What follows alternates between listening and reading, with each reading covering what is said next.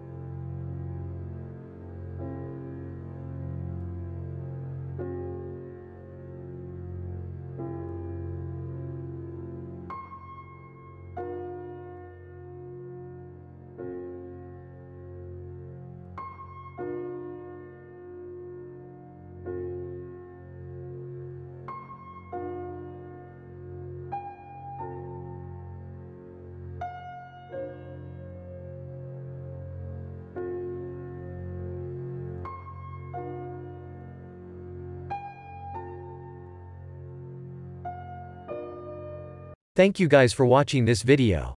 We hope this video was helpful to you and could have added something to your information. If you have not yet subscribed to our channel, please subscribe to it so that you do not miss our future videos. If you like this video, please like it, it will help us a lot. If you have any questions, you can say them in the comment section. So we will see you in future videos.